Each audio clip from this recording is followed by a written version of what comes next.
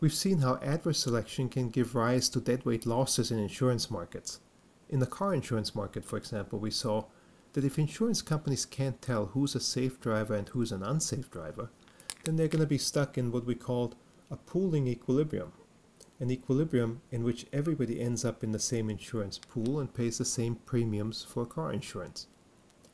In that case, we saw that unsafe drivers ended up buying too much insurance relative to what's efficient, and safe drivers ended up buying too little. The solution to that was to figure out who the safe and unsafe drivers were, and to instead be in what we called a separating equilibrium, an equilibrium where there are separate insurance markets for safe and unsafe drivers. So the safe drivers would get low premiums and the unsafe drivers would get high premiums. If we applied the same logic to health insurance, we would conclude that the efficient thing to do is to create separate insurance markets for the young and healthy and the old and the sick. The old and sick are high cost demanders of health insurance, and so they would be charged high premiums, and the young and the healthy are low cost demanders of health insurance, and so they would be charged low premiums. But there are some considerations that enter with health insurance that are different from those we see in other types of insurance. The first of those is that there's a fairly predictable path we take through life, where we start as relatively low cost demanders of health insurance when we're young and healthy, and we end up becoming higher cost demanders of health insurance as we get older and we get health problems. So if we asked people to buy health insurance for the rest of their life, at the beginning of their life, they would think, if they were rational, about the fact that their need for health insurance is going to increase over their lifetime. And so they'd be willing to pay a premium that takes that into consideration. But instead, we buy health insurance on an annual basis, and each year we get a chance to buy health insurance again. The second consideration is that health insurance has a social insurance component because we think of healthcare as something that's closer to a right Unlike driving a car, which we think of as a privilege, and if you don't drive it well, if you're unsafe, we're okay with you paying a higher price for driving a car and being insured. Healthcare we think of as more of a right. So the social insurance component is the part that makes us say we should, in fact, take care of those who are most vulnerable, and the older and sicker people are more vulnerable when it comes to healthcare and we should find a way for them to be able to have healthcare. So those two considerations become part of the health policy debate that relates to health insurance. But adverse selection is still at the center of that debate. We can either establish a separating equilibrium in health insurance or a pooling equilibrium. If we establish a separating equilibrium, we've already seen that the old and sick will end up with high premiums. In fact, their premiums will be so high that a lot of them would not be able to afford to pay for health insurance. So the most vulnerable people would be unable to afford the insurance that they need. The people who need the insurance the most would be least likely to be able to afford it. What about if we forced everybody into a pooling equilibrium? We basically say to insurance companies, you can't create separate markets based on age and health condition. Well, in that case, insurance companies have to charge the same price to everybody. And everybody has to be in the same pool. But if people get to choose on an annual basis whether to have health insurance, the young and the healthy might decide that it's too expensive to pay those premiums. Those premiums would be much higher than they would have been had younger and healthier people been able to be in a separate market. And if younger and healthier people adversely select out of the insurance pool, the premiums for everybody else are going to rise.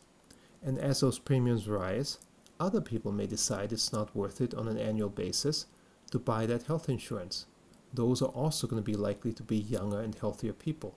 As they exit, the premiums rise even further, and we get something similar to what we saw with unemployment insurance. A kind of unraveling of the market, maybe not a full unraveling, but at least a partial unraveling of that market, that results in insurance premiums being relatively high for those people who need the insurance the most, the older and the sicker. So in either case, we seem to end up with a situation where insurance becomes less affordable the more you need it. And those who don't need it may either not buy it in the pooling equilibrium or may be able to get it for a really low price in a separating equilibrium.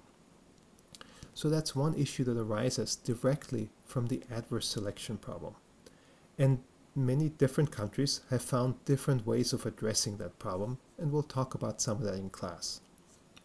Now there's a second problem that emerges in healthcare markets, and that problem is related to moral hazard. So moral hazard, we've said, arises as a result of the fact that we tend to change behavior when the incentives change as we enter a contract.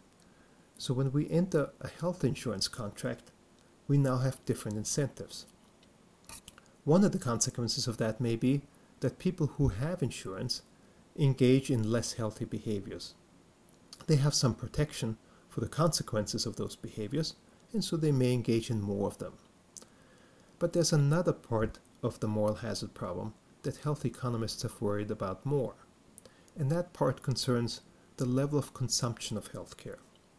So think of your demand for healthcare, not your demand for health insurance, but your demand for health care. And let's say that healthcare can be bought in different units composed of doctor's visits and hospital visits and tests and so forth, and that there's some marginal cost to getting additional units of healthcare. And then people have a demand for healthcare. If they face that marginal cost, if they have to pay that marginal cost, they're going to choose to purchase this much healthcare.